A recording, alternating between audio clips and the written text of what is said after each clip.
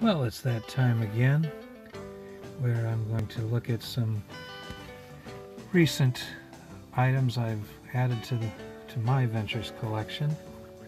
Uh, this first one is a picture single. I remember seeing this in the 90s. Does it have a date? Well, it says 1987. Maybe I saw it that early. Limited edition, a thousand copies uh, you know, when they try to make a collector's item, it's it's not really a collector's item. when somebody presses something with the intention of it being a collector's item. On the other hand, uh, there are, uh, if they did hold to a thousand copies, um, you know, that's there's something to be said for it. I mean, I, in other words, if, if, people do collect it, in other words, if uh, if it does go up in value, then yeah, it's a collector's item. Even if it, you know, is kind of an artificially, I, I think of it as being artificial when they do it that way. And, you know, they press a thing a limited edition and it's, you know, automatically a collector's item. That can only really happen again if, if, if uh, people do uh, at some point in time decide they want it. The demand goes up. And this is one um, I say it's not that much. Well, it's it's not as valuable as some ventures items. It's it's it's not particularly valuable, but uh, it is uh, not that easy to find, and it is. I don't know of too many uh, ventures picture discs. I'm having trouble thinking of one uh, other than this one. Uh, I, I, actually I do think I saw another one uh, yeah, from another country. Anyway, was this pressed in the U.S.? It has Walk Don't Run and Perfidia on it. Made in the EEC. Um, I don't know. I'll have to look that up. But, uh, yeah, that's, uh, I, don't, I don't know what they're talking about there. But anyway, I haven't played it. I'm sure it doesn't sound particularly good. But it, it is kind of a fun collectible. Uh, speaking of, uh, uh, uh, you know, other artificial collectibles, uh, this was made for Record Store Day this year. Uh, well, I think it was made for Record Store Day. This came out in March. I think it came out on March 5th, and Record Store Day was maybe it was March 11, or, or maybe it's April. I'm talking. Where are we now? No, it's April. I'm talking about. April. I believe this came out on April 5th and Record Store Day was April 11th. I'm getting my days mixed up. Anyway, uh, this came out, this was on the Bear Family label from Germany. And uh, it says down here Bear Family. And looks like these are drumsticks or, oh, this is supposed to be a, the Telstar satellite is what they're, and it's got the ventures on it. Uh, this is a, a repressing of a Japanese 10 inch of the Ventures Telstar. And the original Japanese 10 inch had only 10 songs. They, uh, a couple of songs were left off. Um, let's see, what was the story on this version? Yeah, okay, this also has the same 10 songs that were on the Japanese issue uh, from the 60s, you know, earlier 60s. And this has two bonus tracks, Wailin' and Guitar Twist. Those are from one of the Twist albums. Uh, Twist Volume 1 or Twist Volume 2, and I don't know which, I don't recall which. But uh, uh, Bear Family, this is cool. It's a colored vinyl edition down here. It says 2019. This is made in the EU, which is made in Europe. And uh, I, I know it's made in Germany, more in particular. That's where the Bear Family label is. Uh, I should look. I, we should have a look at the colored vinyl. Yes.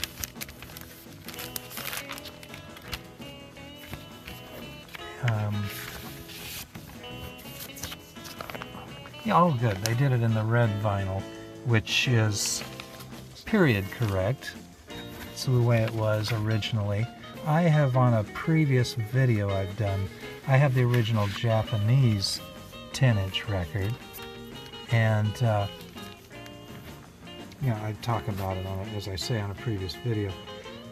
Um, so I thought it was kind of fun that they reissued this uh, this past record store day, and um,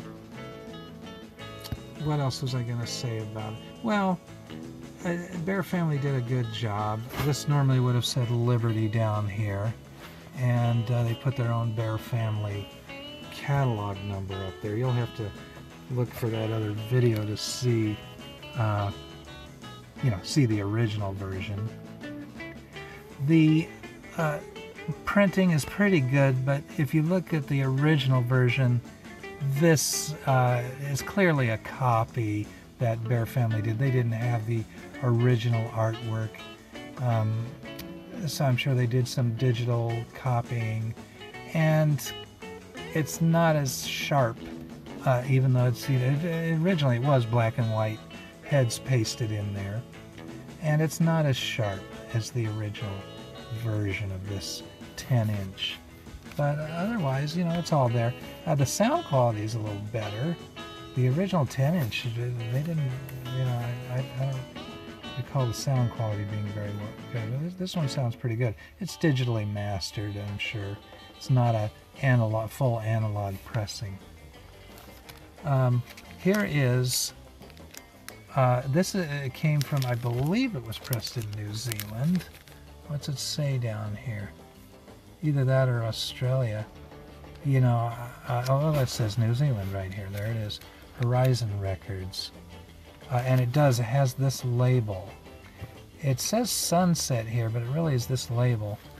And uh, it is a, it's a reasonable quality stereo copy. It's not like a good uh, Japanese vinyl or a good German vinyl copy of uh, Walk Don't Run. Um, in terms of the vinyl quality. Sound quality is pretty decent though. And uh, let's see, it looks like it has uh, the, the songs from that album on here from the original Walk Don't Run. Um, let's see. It's easy enough to check up here.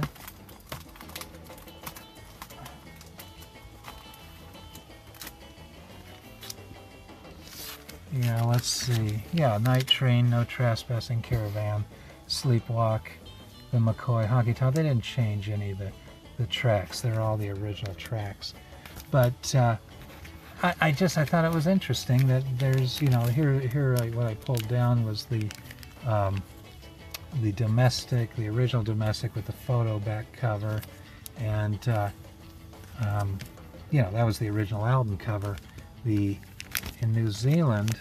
Now this would have been uh, late 60s uh, at the earliest. It's no earlier than the late 60s because we have Gerry McGee and John Durrill in the picture. And uh, I see Mel's got the Gretsch logo there that's from a different one than, than he would have had in the in the earlier 60s. I don't know what that guitar is. It looks like a PAF 90s Gibsons. Maybe that's a, a Gibson guitar then. And uh, uh, um, Don's playing the SG, and Bob has the uh, Hofner bass here. So that's, uh, you know, that was a nice find. Um, oh, and this is a really neat one. I've been uh, trying to get a copy of this for some time. Uh, it, it, it's it's a compilation of the first couple of albums, the first few albums actually. I see Lolita Yaya on here. Uh, but Hawaiian War Chant and Perfidia, that would have been on the Ventures' second album. A lot of these are from the Ventures' first album. Morgan is on the first album. But Wailin', that's on a, uh, no, that might be the second album as well. Lolita Yaya, though, that's, that was not on, that was not on a, that wasn't on a, a Ventures album until later. Uh, going to the Ventures Dance Party, that was uh, the album for that one. And it has this typical uh, early 60s Japan uh, rear cover where it's, it's uh, talking about the songs and, and so but I love the the front cover it's a, it's one of these great uh, covers it's the one you don't see very often I haven't seen this uh, this particular cover uh, very often. So it's kind of a rarity. Another nice find. Uh, this is a, a, set of four CDs called the Singles Collection. And, uh, you know, when did they come out? They probably came out in the 90s. Yeah, 1993 they came out. Um, and there are a lot of Japanese singles. Uh, I uh, translated the Japanese writing using Google Translate, the Japanese writing that's in the booklets on these. And uh, I think they say there's 111. Uh, that, that's not really covered here. They, this series was to cover all the singles. The translate could be wrong, and, and so there's only 24 over 4, uh, 24 on, on, on each four of these. That's 96 uh, total single tracks uh, included in this collection. Um, so it's a CD collection of Japanese singles. But the interesting thing is the Japanese uh, would take the Ventures US albums and they would make their own singles from the album tracks. Uh, and I imagine they, uh, you know, may, I, I don't know what tapes they were getting to do it, so I, I probably shouldn't uh, make a guess. Here it says mono, uh, mono here, stereo and mono, stereo and mono. So in the later 60s, some of the Japanese singles would have been issued in stereo. Uh, but you know, it has these pictures. It's kind of nice that they give the Japanese single covers in the booklet. Um, you know, here they are. Some, you know, all, I, I, don't know, are they getting them all 24?